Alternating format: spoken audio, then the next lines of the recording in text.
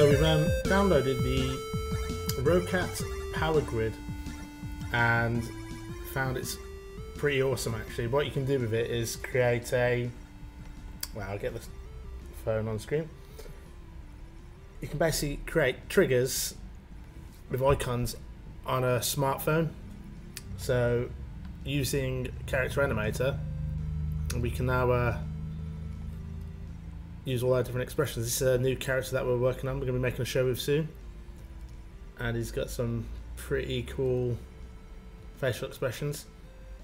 And we're going to be making a live show with this. So this app comes in amazing, and it's a free app as well. Um, hopefully soon we'll make a full-on tutorial on how to create these yourself.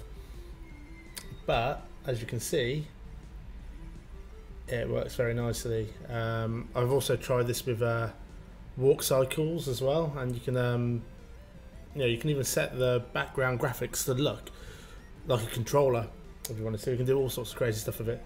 But I thought I'd make a quick video showing what you can do. We'll put a link at the bottom of the video as well to um, the site so you can download and have a play yourself. Um, I think they've got some templates you can download, and there's all, let's say, all sorts of things you can do. Um, let's see, we've got that. We've got him picking up a phone. Go. Let's see, quite like angry face. That's a good one. And I think my favourite one is wow.